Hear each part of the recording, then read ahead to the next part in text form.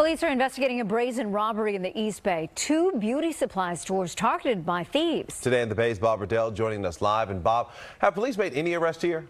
Yeah, good morning, Jamarcus and Laura. As far as we know, not yet, but these thefts this weekend are just another example of just how bold these shoplifters have become here in the Bay Area. In at least one instance, they're not even trying to hide their stolen items, rather walking out with duffel bags full of merchandise. Police say groups of thieves stole merchandise at two Ulta beauty stores, one in San Ramon, the other in Concord. San Ramon police say that on Saturday, two unarmed suspects, they stole about $1,500 worth of merchandise from the Ulta on Crow Canyon Place, mostly perfumes. Police say that then on Sunday, the same store was hit again by four or five different suspects.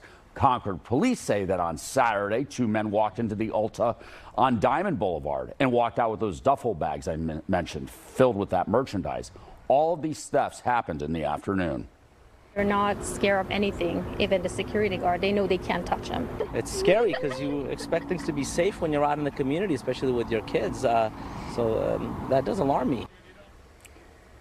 It is not clear yet if there's a connection between the Ulta thefts in San Ramon and Concord. We have reached out to Ulta for comment, but have not heard back. Reporting live, Bob Redell, today in the Bay.